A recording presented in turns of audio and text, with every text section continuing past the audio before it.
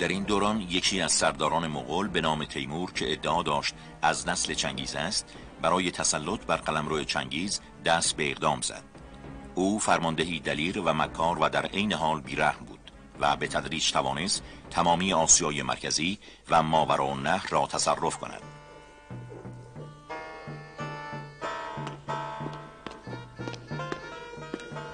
خب کاتب بگو ببینم چه شد؟ بالاخره توانستی نسب ما را به چنگیز برسانی یا نه؟ البته بنده سعی خودم را تا حد امکان کردم. بگو ببینم چه کار کرده ای؟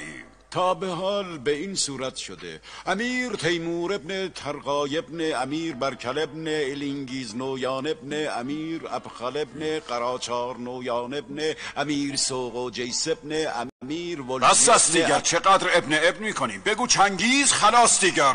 خب قربان به این سادگی ها که نیست. با من جر رو بحث نکن. همین که گفتم. درود بر تیمور خان بزرگ. چه شده است؟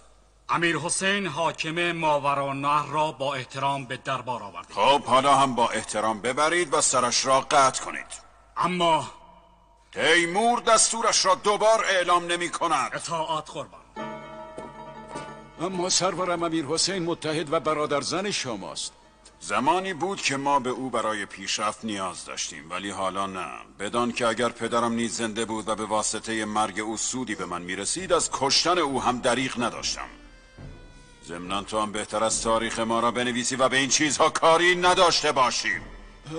بله قربان. خب پس از اصل و نسب شما می‌رسیم به, به... بگو چرا لال شده ای؟ می‌رسیم به البته جسارت است.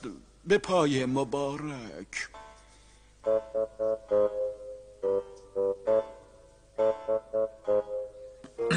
بله بله بنویس. بنویس در محاصره تاشکند بودیم و در حال جنگ که یکی از سرداران دشمن با تبرزین ضربتی بر پای ما فرود آورد. اما اما من که نمی‌خواستم جنگ متوقف شود بر پا ماندم تا سربازان متوجه نشوند و به مبارزه ادامه دهند.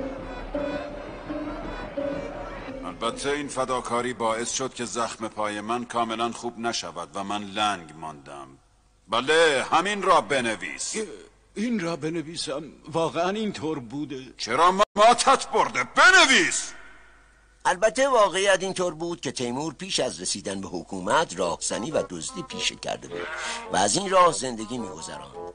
در یکی از این موارد در سیستان چوپانان به او حمله کردند و به پای چپ او آسیب رساندند.